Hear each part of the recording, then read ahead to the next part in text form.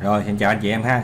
Ờ, trong cái video này thì ờ, chúng ta cùng nhau phân tích một cái cặp sản phẩm rất là quan trọng, đặc biệt là cái sản phẩm ờ, à, Bitcoin Cash ha. À, và chúng ta hãy lưu ý trong tất cả các biểu đồ ha.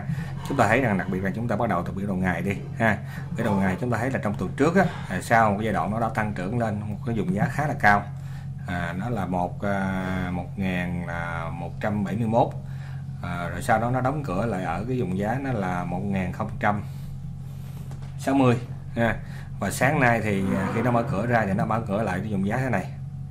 Thấy chưa? 930 935 đó.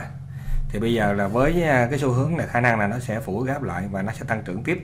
À, chúng ta qua cái biểu đồ nó xa hơn tí xíu là biểu đồ ví dụ như biểu đồ là biểu đồ tuần đi. Chúng ta thấy rằng là sao đây? À, nó có giai đoạn tăng trưởng nhưng mà nếu chúng ta xem biểu đồ tháng thì chúng ta thấy một điều rất là tuyệt vời. À, trong biểu đồ tháng thì chúng ta thấy là cái cái hình thành một cái mô hình gọi là mô hình gọi là mô hình đá chén. À, nếu anh chị và các bạn có phân tích kỹ thuật chúng ta thấy được mô hình đá chén. À, thấy không? Đó, vậy thấy chưa? Nó thì khả năng nó vậy. Thì để gọi là nó phủ được cái chén này cái đá chén này hình thành được đủ cái chén này đó thì khả năng là nó sẽ lên dùng giá nó bao nhiêu đây?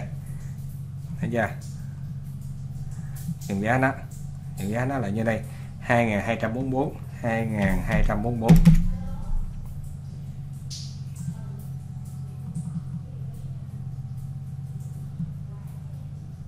à, thấy không? số đẹp ha. 2244 ha. Như vậy thì nếu giả sử như chúng ta để người đầu tư đặc biệt là đầu tư à, à, theo cái xu hướng mua lên À, của Bitcoin Cash thì chúng ta có thể kỳ vọng được là khi nó phủ được cái mô hình à, đáy chén này thì giá nó sẽ lên là 2244 à, nếu chúng ta mua ở thời giá hiện tại là 1018 thì khả năng nó lên tới đây. Thì chúng ta hình dung là chúng ta lãi được bao nhiêu? Nếu chúng ta mua một đồng thôi, đồng Bitcoin Cash thôi, thì coi như chúng ta lãi được tầm khoảng có một ngàn mốt một ngàn mốt, mua một đồng thôi thì từ chỗ đó anh chị và các bạn hãy cân nhắc trong việc mà chúng ta quản lý tài chính chúng ta coi chúng ta có cái à, cái số tiền là đủ bao nhiêu ha, ví dụ như số tiền số tài khoản chúng ta bao nhiêu để chúng ta mua nó vừa phải nếu mà chúng ta quan tâm à, đến cái giao dịch lao động Bitcoin Cash nếu chúng ta đầu tư ở tỷ lệ 11 ở trên các cái, cái sàn à, thì chúng ta hầu như có thể là chúng ta không quan tâm không có lo không sợ cháy chúng ta thể mua một đồng nếu cho đủ một đồng chúng ta để tới kỳ vọng tới mức đó thì nếu chúng ta hẳn chúng ta ví dụ giả sử như bây giờ tài khoản chúng ta đi tài khoản chúng ta có ngàn ngàn đô đi thì chúng ta môn đồng này coi như là mốt nó lên vị trí này chúng ta lại thêm một là một. Một nhân một có nhân đôi tài khoản á, ha.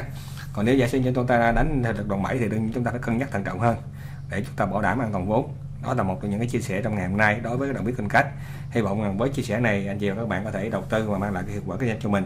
À, và chúng tôi cũng có những cái à, buổi chia sẻ à, đặc biệt là miễn phí ở tại à, Sài Gòn. Nếu anh chị và các bạn có quan tâm thì anh chị và các bạn có thể là đăng ký ở chỗ này ha để anh chị và các bạn nhận được những cái những cái vé tham dự của chúng tôi. Tôi sẽ hỗ trợ trực tiếp phân tích giá và đồng thời gợi ý cho anh chị và các bạn đi kinh doanh hiệu quả hơn tại văn phòng ở Sài Gòn. Xin chào hẹn gặp lại.